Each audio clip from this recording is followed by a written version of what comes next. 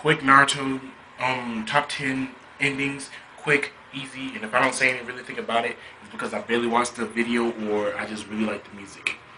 Number ten is ending three because it was the beginning of the Sai arc where Sai was first introduced as the replacement of Sasuke. And I really just like Sai and I like the music. I listen to music every day when I was little. Um, number nine has to be my number nine because number nine was um it just had a really good music to it and that's why I really fell in love with this song. Number eight is 34. Um, I don't know why, but it, it just shows that how the ramen shop was always there from the beginning, before Naruto was even born. That's why I really like oh, 34 as my opening. Number seven is number eight, Bacchikoi. I like Bacchikoi because it was just really fun, really heartwarming. It was just really good to listen to as an uprising music. I love the video because it was so funny with Might Guy and Rock Lee just sitting there encouraging everybody. I just really like the dance that they did, and this was really cool. Number six, I have to say number six has to be number one. It's, I know it's called Shooting Star, but it's a different version for it. Shooting Star was the first one I ever heard, of course, but it was just really, it was just really cool, calm, and it was just really mellow, and it, it was just showing that this is going to be what Naruto's going to be like. Really cool. The end is going to be awesome. They're going to mean something. And it's just going to be really good good look at at the end of an, every episode. Number five is ending 32. This ending was barely even shown in the Naruto Shippuden episodes. It was mostly shown for the filler arc, which I really was mad about because I really love this ending. But this is one of my favorite Naruto songs ever for the whole series, and I just really like it because it's just really how Sasuke and Naruto are joined back together, which is pretty much the time they came back together in the Ninja War. Number four is ending 31.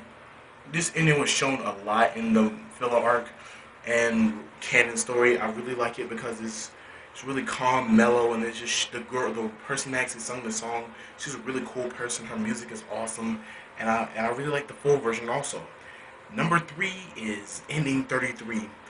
The music. This was almost one of my most favorite songs ever because it was just saying a promise that doesn't need words, and to hear the song, it really made me feel good about how Madara's past all led up to this very moment, the Ninja War, and how he just shows he's a bad, always feeding off all these enemies and everything. It was really good.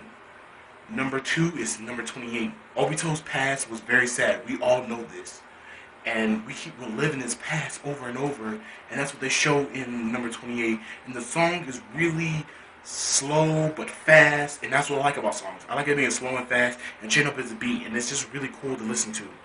And Obito was a really one of my most favorite characters. Everybody knows that, and it was, he, I really just really love this song.